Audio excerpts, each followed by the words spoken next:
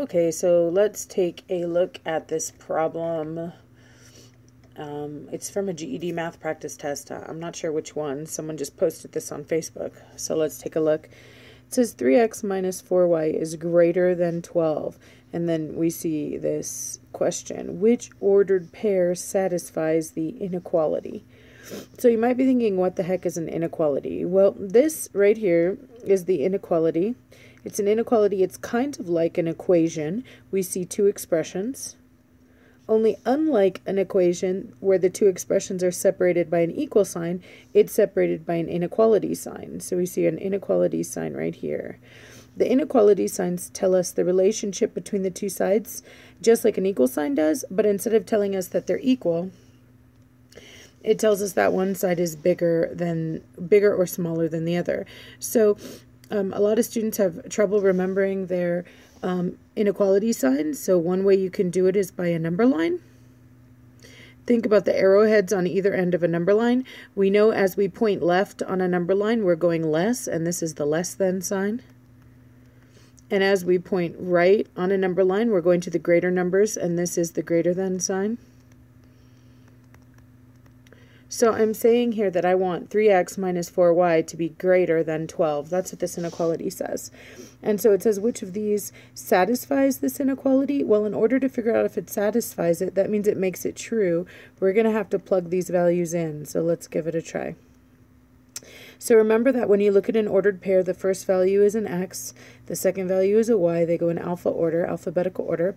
So let's try plugging it in. Let's plug in a negative 5 where x used to be and I'm plugging it in with parentheses. Most of us hopefully know by now that when a number and a letter, a number and a letter are shoved together in algebra class, they're multiplying.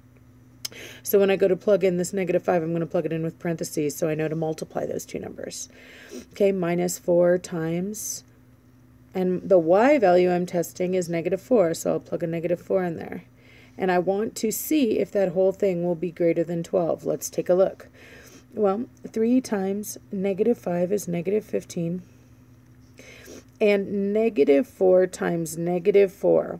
I'm going to keep their signs with them when I multiply. A negative times a negative is a positive, and so I'm going to end up with a plus, and 4 times 4 is 16, and I want to know if that's greater than 12. Okay, so negative 15 plus 16.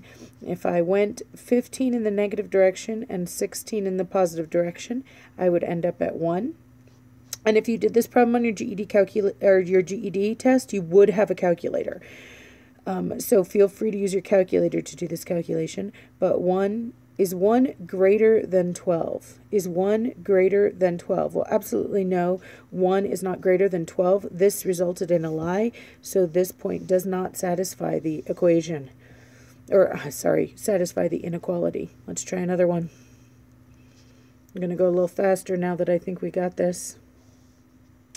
Okay, again, I'm going to pick up my inequality, 3x minus 4y. I'm starting from scratch because I want to see if the next point satisfies. So let's plug in. For our x value, we're going to plug in a 4. For our y value, we substitute in a 0, and I want to know if that's greater than 12. Well, 3 times 4 is 12, and we're going to subtract from that 4 times 0 is 0. And so I get this statement, is 12 greater than 12? And no sorry because I have this strictly greater than sign. 12 is not greater than 12. So this is a lie and so I cannot use that point either. Let's try the next one. Okay, so again, I'm plugging into 3x minus 4y is greater than 12. And if you're wondering why I rewrite this problem over and over again, it's because I've seen too many students make copying errors. So I think the best thing to do is always to start with your untouched inequality or untouched equation before you start substituting. And now I'll substitute. 4 times negative 4. And we're looking for something that's greater than 12. Okay, 3 times 0 is 0. Negative 4 times negative 4 is positive or plus 16. And I want to know if that's greater than 12. As 0 plus 16 is 16, 16 is greater than 12. Boom, that ordered pair satisfies the inequality.